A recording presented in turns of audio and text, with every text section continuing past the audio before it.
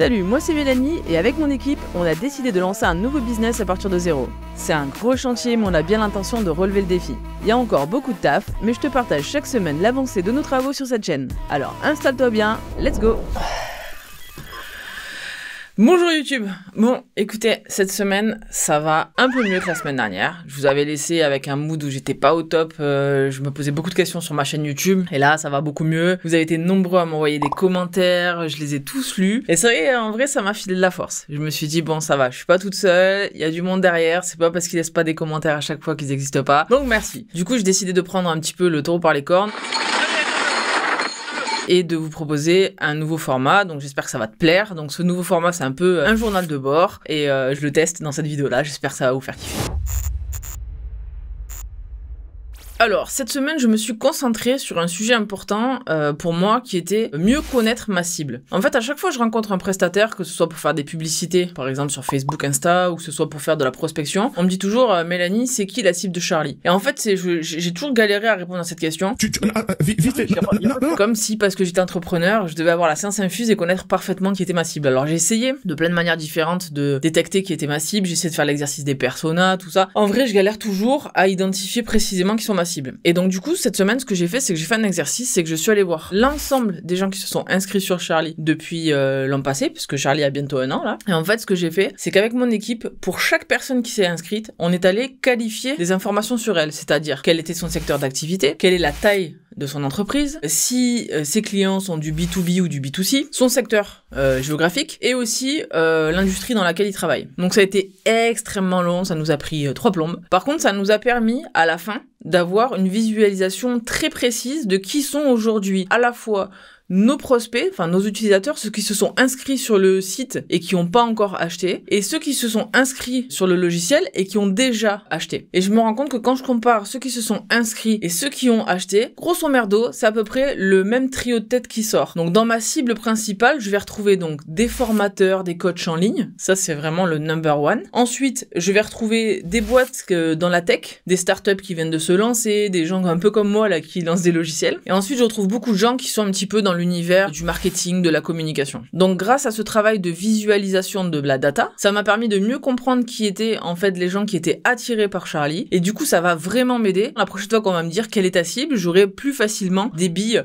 pour répondre à ces gens-là. Et je me suis rendu compte que dans la majorité, ma cible, c'est de, ce sont de tout petits entrepreneurs. Donc grâce à ce travail d'enrichissement de, de la data, ça va m'aider à mieux cibler euh, pour mes campagnes de publicité ou mieux travailler mes campagnes quand je vais faire des campagnes de prospection. Mais ça, bon voilà, je te le montrerai dans un prochain épisode. Mais en tout cas, voilà, maintenant j'y vois plus clair au niveau de ma cible grâce à ce long et fastidieux travail d'enrichissement de la data.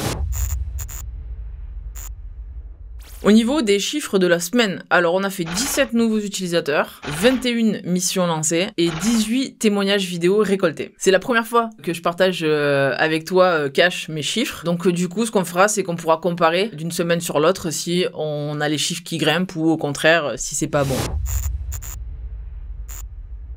Bon, la petite anecdote de la semaine. Pour faire simple, en gros, quand je travaille avec mon équipe, toute la semaine, on a un logiciel qui s'appelle Slack et c'est là-dessus qu'on communique. C'est euh, notre petit euh, outil de messagerie interne. On se pose nos questions dedans quand ça ne justifie pas forcément d'aller déranger la personne, on lui crée un petit mot, etc. Et dans Slack, j'ai fait un canal qui est dédié à Charlie. En gros, j'ai automatisé pour qu'à chaque fois qu'il y a un événement qui se passe dans Charlie, on reçoive une petite notification dans le canal Slack Charlie. Donc par exemple, à chaque fois qu'il y a une nouvelle inscription, à chaque fois qu'il y a un nouveau témoignage, à chaque fois qu'il y a une nouvelle vente, on a une petite notif qui nous dit euh, dans notre Slack euh, que telle personne, par exemple, a acheté euh, tant de crédits. Donc moi, c'est un petit peu mon centre de pilotage. Je regarde en permanence ce qui se passe dedans. Alors, comme tu as compris un peu précédemment, j'ai majoritairement des coachs, des formateurs, des agences marketing, des boîtes tech, etc qui s'inscrivent. Et là, je te donne dans le mille, tu devineras jamais la profession qui s'est inscrite sur Charlie. Écoute, il y a carrément un marabout qui s'est inscrit sur Charlie. Bon, de toi à moi, euh, j'attends de voir parce que j'ai mis quand même un petit peu de sérieux doute euh, sur le fait que des clients du marabout accepteraient de se filmer pour dire tout ce qu'ils pensent euh, du marabout. Franchement, j'attends de voir. Je suis pas sûr que les clients acceptent vraiment d'assumer le fait qu'ils consultent un marabout. Je vous tiendrai au courant dans les prochains épisodes si le marabout a réussi à récupérer des témoignages vidéo grâce à Charlie. Et après, moi, ça me donne pas mal d'idées. Je me dis que je pourrais lui demander si ça marche bien son business, s'il veut pas maraboutiser un petit peu ma chaîne YouTube.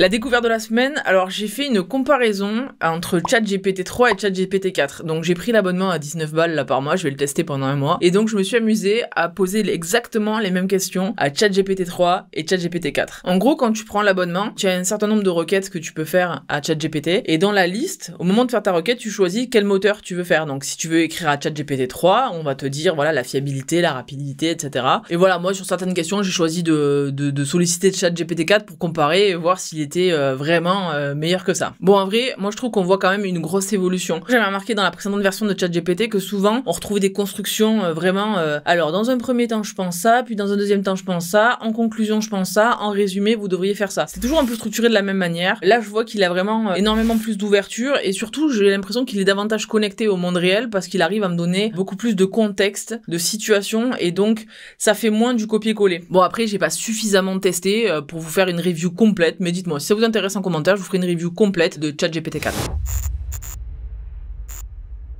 Ma dédicace de la semaine, roulement de tambour, ça sera pour Christophe. Christophe, merci beaucoup, tu as fait partie de ceux qui sont revenus vers moi suite à ma vidéo en mode déprime euh, sur ma chaîne YouTube la semaine dernière. Christophe, il a battu tous les records, il m'a envoyé 13 euh, messages vocaux sur LinkedIn, je vous fais la capture là il m'a carrément euh, remonté un le moral à fond. Il m'a donné énormément de pistes à creuser, dont notamment la création d'un format dans lequel je me sens bien. Et j'espère d'ailleurs que cette vidéo là vous la kiffez bien dans ce nouveau format. Donc voilà, en plus Christophe a une chaîne YouTube, donc n'hésitez pas à lui filer un petit coup de force. Voilà, ça sera tout pour cette semaine. J'espère que ce nouveau format vous l'avez kiffé. En tout cas, moi je continuerai comme ça quelques temps pour voir. Moi je me sens bien à l'aise. J'ai l'impression qu'il y a plus de place pour euh, à la fois revenir sur euh, où on en est, mes découvertes, mes anecdotes, etc. C'est un peu plus construit. Je vous donne rendez-vous lundi prochain 18h42 pour un nouveau journal de bord de l'entrepreneur. Allez, ciao